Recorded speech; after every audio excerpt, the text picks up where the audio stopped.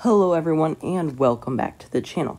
Today we are looking at the top 5 easiest premium tanks to play in World of Tanks Blitz.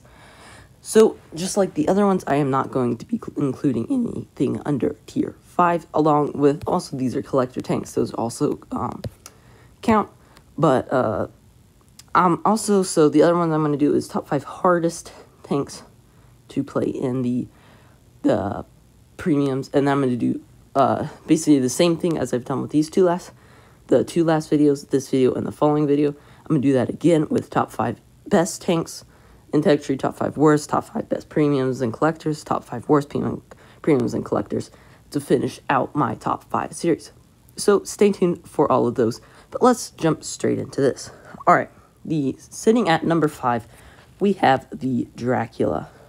So we're just going to tap on this here. I am using Blitzhanger because I don't have all of these tanks. so, not really. Can't really make a video about stuff you don't have. Uh, let me just get rid of those annoying ads. No, I don't want you. Alright, it is sitting at 1250, um, you know, HP. It's got that. Uh, why am I? I'm talking this like as a review. Okay, sorry. Um, now, the reason the Dracula, I picked this as number 5 is easiest to play is, well, it's definitely probably not the easiest tank out there to play it's just so much fun. It is so much fun to play, and you just cruise around the battlefield having a ball. Now, as you all guys know, you know probably exactly what this tank is and what it does. If you don't, you're probably very, very new to the game, or you just don't know too much news about the game or anything like that, or watch too many YouTube videos. But I'm going to say it just real quick anyway, in case you're that person. and, um, you know, you've got great speed and a very pretty good gun. I mean, it's a fun gun, and the real thing about this is the RAM capability. It has a great power to weight ratio, so you are able to ram basically stuff that you would think you couldn't, but still do tons of damage. As well, it's got pretty much a, a pretty good amount of hit points, especially usually um, run the extra hit points on it, and it can really have some fun. So yeah, that's why this is the uh, top uh, top number five in the easiest tanks to play. So, coming in at number four is its look alike, uh, not look alike, is its rival technically, the Helsing. Um, it's a very, very good tank as well. Came in at the same time as the Dracula for, I think it was 2016 Halloween event, if I am not mistaken. And this is a very good tank. Um, while the Dracula is good, um, it's more fun. Uh, the Helsing is probably more overpowered, but the Dracula is definitely more fun. But this tank is a lot easier to play because it does have more armor and a better gun. This tank has um, pretty good, I mean, the armor profile is nothing like to mm, do like insane with, but it, it's pretty troll and it's got some weird angles on it, which makes it bounce quite a bit. So, well, it is a double barrel gun, it's basically like a two-shot autoloader, but they shoot at pretty much the exact same time.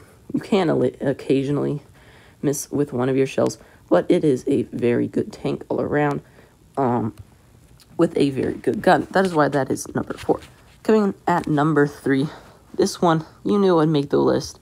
You know it. You hate it. The Smasher. Yes, of course how can you not have a top five best of something and not have the smasher on it unless it is only tech tree? Uh sell price 2500 uh, i wish. I wish. Uh well actually no because then everybody in the game would have it and tier 7 and 8 and 6 would be absolutely run. never mind. Uh but that would be nice if i could get it for that much. But you all know what this tank is. The dirt monster the tier 7 kv2 on steroids um, this tank is absolutely insane. Probably one of the most overpowered tanks in the game, if not the most overpowered tank in the game. Has great alpha, insane, um, insane alpha actually. Great alpha on your HE. Your heat has a lot of pin, 250. The armor profile is actually um, pretty good, and the speed is not bad as well. This tank is absolutely ridiculous and can wreck everyone, and it is very easy to play. I just not putting it at number one because I feel like the Smasher has had number one on a lot of things recently, and it doesn't really need to be there. There's plenty of other tanks that are easy to play. And so, yep, that's why that is number three. Now, coming in at number two, this tank is just insane, and it, It's so easy to play. You just roll up and destroy. It is the Object 252U. This tank is insane. I mean, your armor profile is one of the best, if not the best, tier for tier. I mean, it's insane. Your side armor, your rear armor, your turret armor, your whole armor, everything.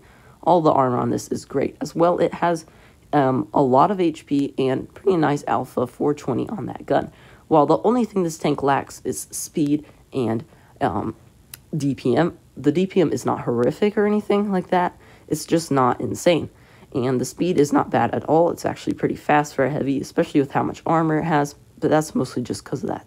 Um, that's just how most Russian heavies are. They have pretty good mobility. So this is why this is number number two on the easiest tanks to play. It is just one. It's so easy. It's awesome. Now, honestly, probably could have done this number one with the number one one you will see in a few minutes, but I decided to put it number two. But, um, you know, I could always change that. So now coming in for our honorable mentions, we have the WZ120, if I can find it. There it is. WZ120 GFT. Um, now, the reason this is not on the list is just because it doesn't have a turret. That's it. It still can be COD'd, and that's literally it. If it had a turret, it would be probably like number two, number three, number one, somewhere around there. This thing is absolutely fabulous. Great armor profile, great mobility, insane gun, great penetration, good alpha, great DPM. I mean, everything about this tank is absolutely insane. One of the most deadly tanks on the battlefield. That is why this is make the honorable mentions. Coming for our second honorable mention, we're going to go back up to some uh, collector tank. Uh, wait, no, it's not collector. Never mind. Back up to some high tiers. We have the Chieftain Mark 6. Now, this tank is absolutely a beast at tier 10. One of the most overpowered tanks at tier 10, if not the most overpowered tier 10, besides the number one, which you probably already got, got hint, that hint there, and you probably already figured it out. Now, this tank is very easy to play, um, but the reason it has not made the list is because the side armor is so weak. The side armor on this is absolutely paper and can be, can be HE'd all over, but the turret and the top of the hull are very strong. It does have that cupola as well, but that is actually pretty hard to hit. And, I mean, this tank, um, good, great turret armor, great gun depression, pretty strong hull as well, actually. The top, the upper glacis are pretty strong.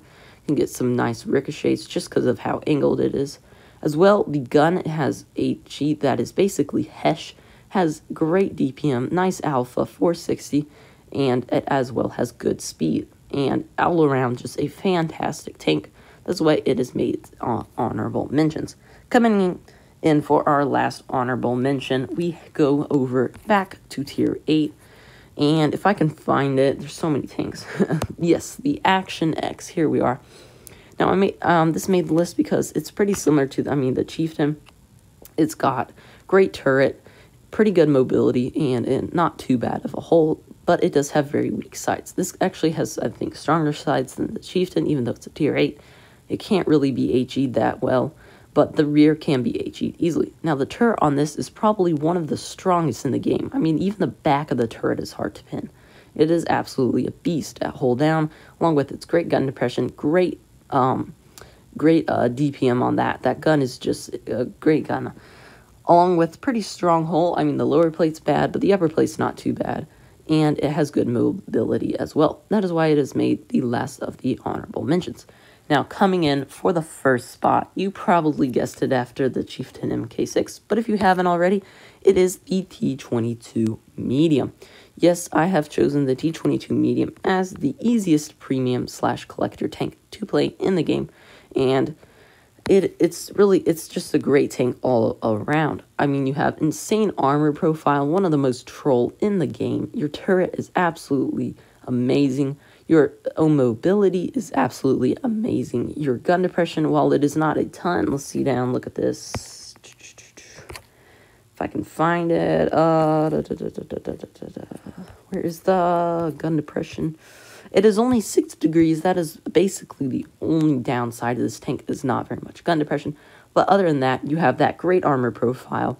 I mean, absolutely amazing. Super troll. Great mobility. Great gun. It's got amazing damage per minute.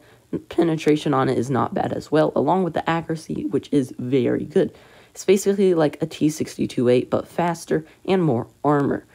Um, it's just absolutely an amazing tank all around. So that is why it's made number one on the easiest tanks to play in um, out of premiums and collectors.